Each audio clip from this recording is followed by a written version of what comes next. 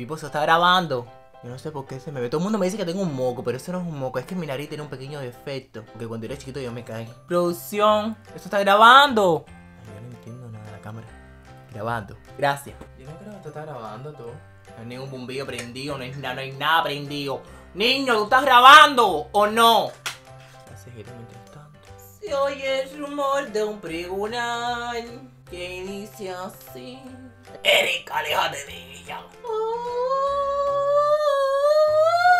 ¡Más fuerte!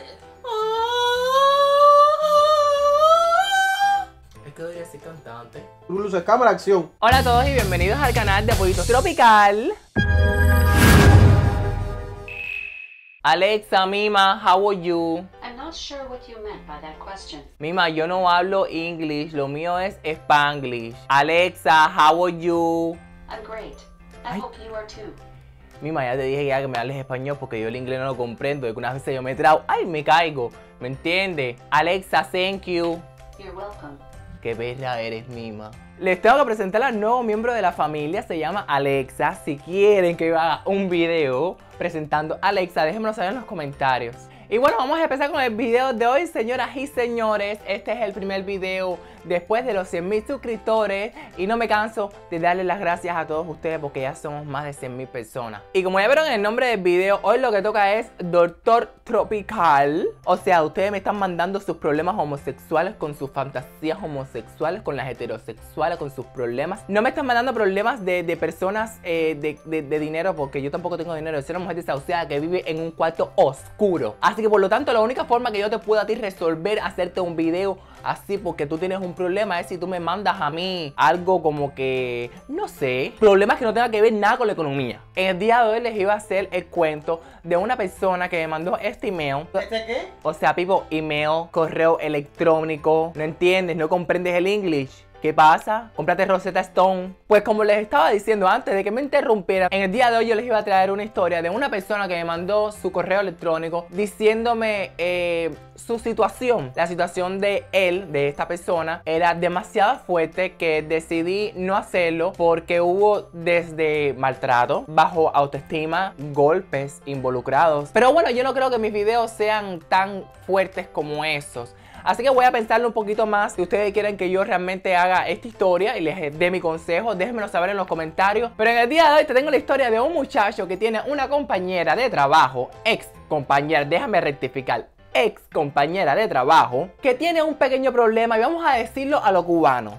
Ella tiene fuego uterino. Así que aquí te cuento la historia. Machi, se trata de una compañera de trabajo. Ella tiene 26 años y de ser por ella, ella con todos los hombres que se le atraviesan. Está fuerte la situación. Por si fuera poco, ya tiene más de cuatro meses saliendo escondidas con un primo. O sea, que es hijo de su tía. Mi vida, obviamente, que es hijo de su tía, porque no va a ser hijo de su tío. Bueno, puede ser hijo de su tío, pero obvia, obvia. ah. No obstante, el hombre está feo, pero muy feo. Y a sus compañeros de trabajo hemos hablado mucho con ella, pero la marica no se valora. Ay, qué perra, este es venezolano, porque dice que la marica, la marica no se valora. Ha intentado hasta salir embarazada de su primo.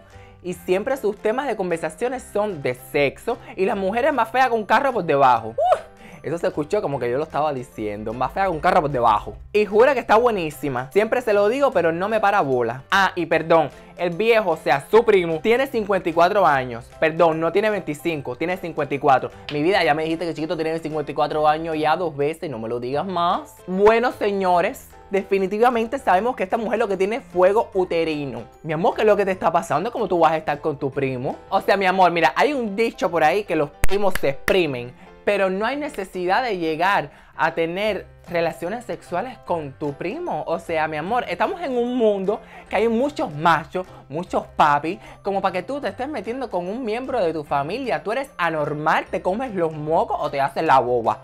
Una de las tres queridas. Y aparte intentar salir embarazada de tu primo que tiene 54 años. Bueno, déjame te digo que lo dudo que de con 54 años hay posibilidad, hay posibilidad que sí, hay posibilidad que no. Ustedes me entienden porque ahora los que tienen 50 años van a decir, oye, pero yo tuve amigos con 50 años. Pero bueno, lo de intentar salir embarazada no me preocupa mucho ya que el hombre tiene 54 años.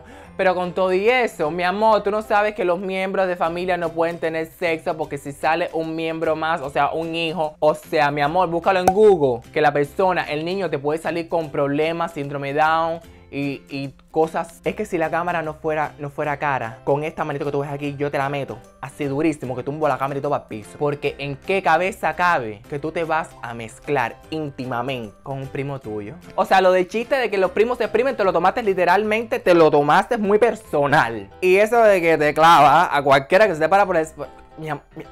Mi, vida, ¿dónde está la autoestima tuyo? ¿Dónde está? O sea, me imagino, bueno, es que ya tu amigo, tu ex compañero de trabajo, me dijo que estás malísima, que estás más fea que un carro por debajo. Busca dinero y hazte una cirugía porque está. Bueno, es que yo no sé si estás realmente fea o no, porque todos los gustos son diferentes. Pero tu ex amigo, tu ex compañero, me está diciendo que tú eres fea. O sea, si un paro dice que tú eres fea, es porque eres fea, querida. No, I'm sorry for you. Mi vida, no quiero ver un hijo tuyo con tu primo. El ADN con el ADN de tu familia mezclado. No, no mi vida. No. Es que, chicos, me dan ganas de meterte la, la mano así por, por, por la cámara. ¡Así! Pero no, porque la cámara me costó muy cara y entonces no le puedo dar. Pero bueno, si realmente tú tienes este problema, que tienes fuego uterino, mi amor, porque esto es un dicho que dice mi mamá, ¿no? Eh, uno hace con su culo un tambor. Entonces, querida, haz con tu a lo que te dé la gana, como si te quieres meter un burro. No importa. Métete lo que te dé la gana, pero no te con la gente de tu familia, que eso es una falta de respeto. Eres un aborto de la naturaleza. Es más que ya no termina, es que ya terminé de hablar contigo ya. Ya terminé ya. Es que si yo supiera tu nombre, yo te mando un correo diciéndote además que te vas a morir. Pero bueno, ya eso no me importa porque eso no es problema mío. Pues señores, si ustedes quieren que yo le haga un videito con mis consejos, lo único que tienes que hacer es ir a mi Instagram, poner contacto, mandarme un email y mandarme tu situación homofóbica que yo voy a hacer un video si realmente es un video que valga la pena. Pero bueno, ya tú sabes qué hacer, regálame un like si no es mucha molestia. Y de paso, déjame saludar a cinco personas que por poco se me olvida. Zunida Alayo Perdomo, Alicia Josefina Pardo Díaz, Caroline Gutiérrez, Verónica Arriaga y Norquis Ramírez. Si quieres que te salude en mi próximo video, lo único que tienes que hacer es compartirlo y hacerme un tag en Facebook. Y sígueme en mis redes sociales como Facebook, Instagram, Twitter y Snapchat. Y un besito para todo el mundo, ¿no? Porque tú me tienes que dar un besito a mí.